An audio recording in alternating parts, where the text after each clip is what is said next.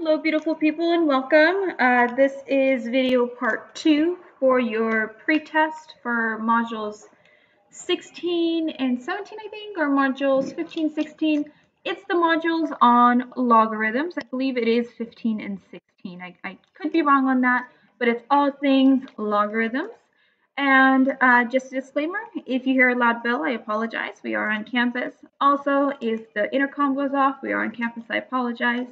And lastly, if I make a mistake, I am human, so just let me know where the mistake occurs so that way we can both learn from my mistake. All right, we are number 19, and we're going to just jump right in. So number 19 says solve each equation, round to the nearest 10 thousandths. Now, a lot of you guys don't read to what decimal place. Please read to what decimal place it's asking.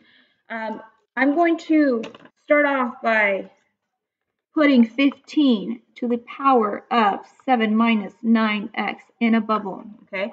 The reason I'm doing that is because this is a bubble. You cannot break apart the bubble unless you use a logger, excuse me, unless you use a property. In this case, we're going to be using logarithm, but you have to use either a property or a definition of some sort in order to be able to solve these, okay? So the first thing you need to do is just put it in a bubble so that way you understand that you cannot break these two apart. Now, after you put it in a bubble, you need to make sure that anything outside of the bubble gets taken care of. For example, I have plus 2 that is outside the bubble, so I'm going to take care of that. So now I have 15 to the 7 minus 9x is equal to 48. Then I'm going to use the definition of a logarithm. For example, log base 15 of 48 is equal to 7 minus 9x.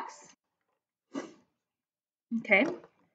And again, there is a way to use the properties on this. So if you prefer to use properties, definitely use that. I prefer to use the definition. After this, since I don't know what log base 15 of 48 is, I'm going to use the change of base formula because that is something my calculator can do.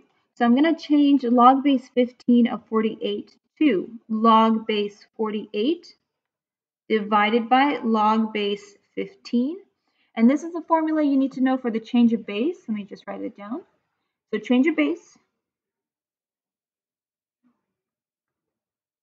And that is log of A divided by log of B.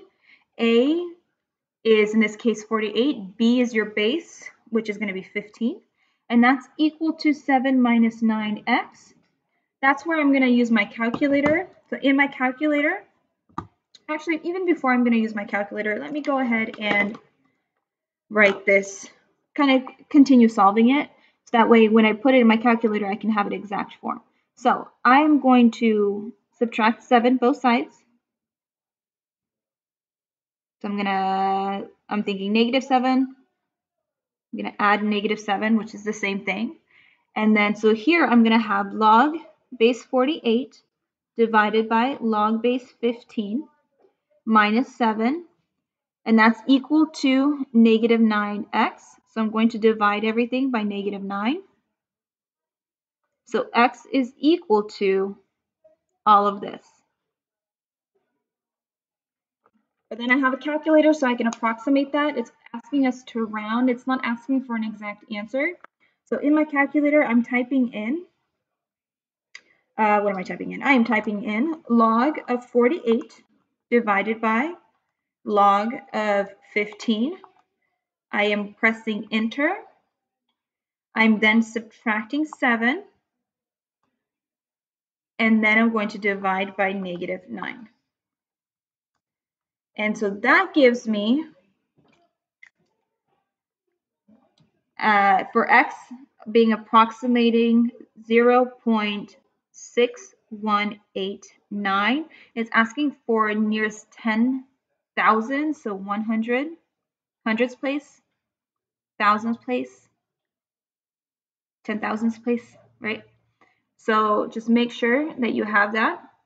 And then so tens, hundreds, thousands, ten thousands, tens. I think I called this hundreds place. That was my mistake tens, hundreds, thousands, ten thousands place. So this should be your answer for number 19. Okay, number 20 is asking you to solve each equation. So this is we're using properties. So for example, I see that I have log base 18 and log base 18. You should know that if we have a log base b and a log base b and there's nothing else outside the bubble. So like here's a bubble. This whole thing is a bubble. This whole thing is a bubble. There's nothing else there. You have two logs being equal to each other. We are using the one-to-one -one property, which states that our a values are also equal. So I have 5a plus 8 is equal to negative 4a plus 3. And again, our basis must be the same in order for this to work. So now we're back in integrated math 1. I'm going to solve for my variable by adding 4 a's together. So then I have 9a plus 8 is equal to 3. I'm going to subtract 8 both sides. 3 minus 8 real quick, that's 5, excuse me, negative 5 divided by 9 divided by 9. So a is equal to negative 5 ninths. Don't give me a decimal, leave it as a fraction. That should be a negative. You can't really see that, so I'm going to just change it. All right, let's do it again. Same thing, I see a log base 20 is equal to log base 20. There you go, these two are equal. So I'm going to write it here. I have b squared plus 6 is equal to negative 6b minus 3. Okay, so then I'm going to add 3 to both sides. So I have b squared plus 6, 7, 8, 9 is equal to negative 6b. Now I'm noticing I have a b squared and I have a b. So in my head, I'm thinking we're most likely going to need to factor this. So I'm going to continue writing underneath. So I'm going to add 6b to both sides. So then here I have b squared plus 6b plus 9, and that's equal to 0. And again, that screams screams out to me that we're going to have to factor. So you can use the diamond method. You can use guess and check for this. I know that I'm going to have b, and then two numbers, when I multiply them, give me 9. But when I add them, give me 6. That is 3. So that means b is equal to negative 3 twice. And then again, don't forget when we're solving these, this is super important to solve. When solving logarithmic equations, you have to check for extraneous solutions. Okay, super important that you need to check for extraneous solutions. So what that means is you have to take your answer, take your answer and plug it in and make sure it doesn't give you a negative log. Okay, can't take the log, you can't take the log of a negative number. So even though I have negative 3 here, if I plug it in to b, that is negative 3 squared, which is positive. And then if I take negative 3 and I put it in for this b, I have a negative 6 times a negative 3, which is again positive, so I'm okay here. All right, let's do this one here. Number 22, I'm noticing that I have same base with subtraction, so I'm going to combine those. I'm going to condense them. So I'm going to have a log base 5 of 10 divided by x minus 8, and that's equal to 1. And then I have a log base of something is equal to 1. So I'm going to use the definition of a logarithm, which means that it is an exponent, and I'm going to rewrite it. Now again, you can use a property and take log of both sides, or you can take um, raise everything to the fifth power. Like there's many different ways of doing this.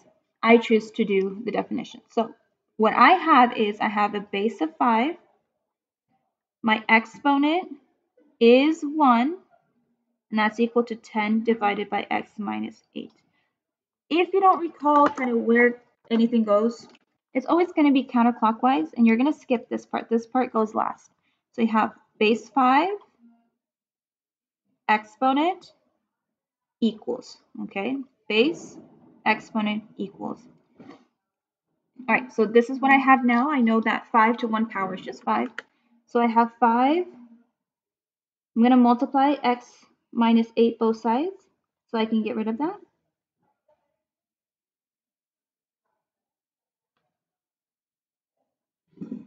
That's equal to 10. So I have 5x minus 40 is equal to 10. Add 40 to both sides. So 5x is equal to 50. Therefore, x is equal to 10. Number 22. And again, take your number, take your answer, check for extraneous solutions. Take your number, or your answer, excuse me. plug it in. 10 minus 8 is positive, and that's the only one we have to worry about. Okay, number 23. Number 23 is asking us again to solve. So we're going to solve.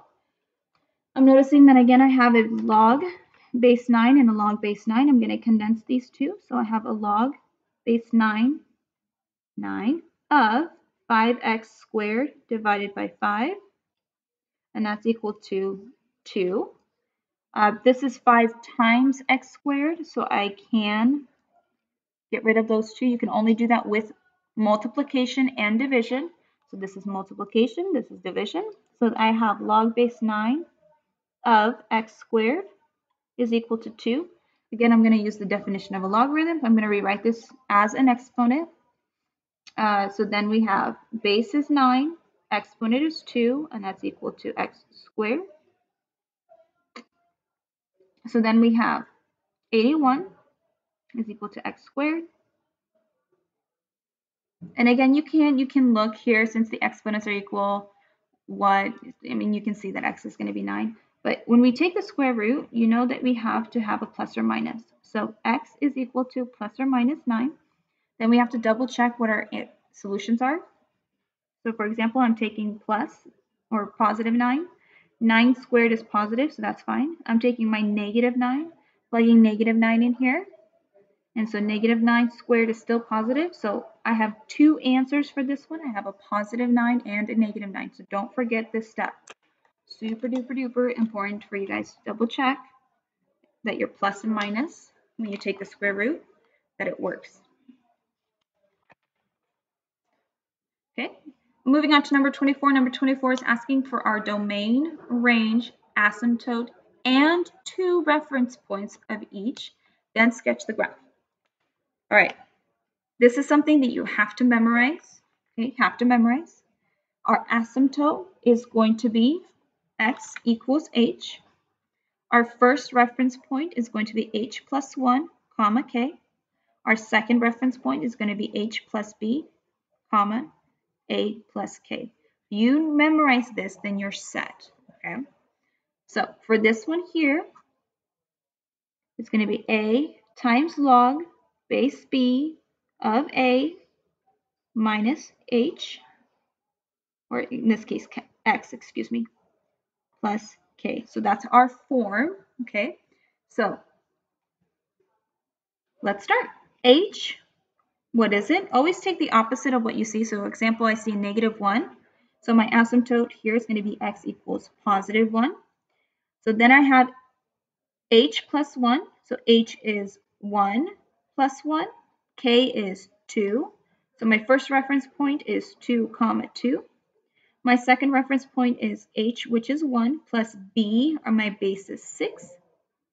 And K, which is 2, plus A. I don't have an A out here. That means my A is 1. So then my secondary reference point, I'm writing it down below. Sorry, I didn't realize you didn't see it. My second reference point is going to be 7 comma 3. So step number one is identify your asymptote. Step number two is identify your two reference points. Here's one, here's two. Then sketch. So x is one. And again, for logarithms, it is a vertical asymptote. To show your asymptote, you have to do a dotted line. Then sketch your two points or plot your two points. So two and two, here's one of them. Seven and three, that's your secondary one. After that, then sketch. You know, with the asymptote, one of the ends of your curve is going to approach that asymptote indefinitely, and then one of them is going to go off to infinity. All right, so two reference points we have, asymptote we have. Next thing we need is our range and domain. So range domain. Range is for your y values, domain is for your x values. So for as domain, let's do that.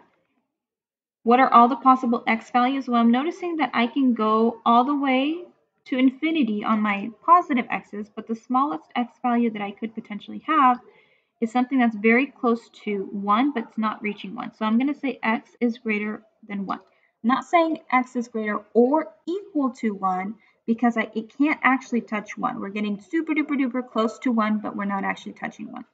For the range, it's asking for all the possible y values. I'm noticing that in as y gets bigger, I can go off to infinity. And then as y gets smaller, I'm going down to infinity. So that means I have all real numbers for my range. So I have domain and range. It's not asking me for my end behavior, so I'm going to not do that. Remember, read the directions. Don't do more work than you have to. Let's try number 25. Number 25 again, I'm going off of these. x is equal to h. h is inside the bubble. Think opposite. So I have an asymptote at negative 1, a vertical asymptote at negative 1. Then I have my reference point, h plus 1, comma k. Second refer reference point, h plus b, comma k plus a. So then we have h is negative 1, oh, plus 1, excuse me. And then k is negative 4. Then I have negative 1 plus 2, b is 2, my base is 2. And what do I have here? I have k, which is negative 4, plus a, which is, again, if there's no number out in here, it's just 1. So what are my two reference points? I have negative 1 plus 1, which is 0, and negative 4, that's my first reference point. Second reference point, I have negative 1 plus 2, which is a negative, excuse me, positive 1. Negative 4 plus 1, that's negative 3. After we have our information, so we have our asymptote, we have our first and second reference point, sketch. So x is negative 1, here's negative 1, asymptote is shown by a dotted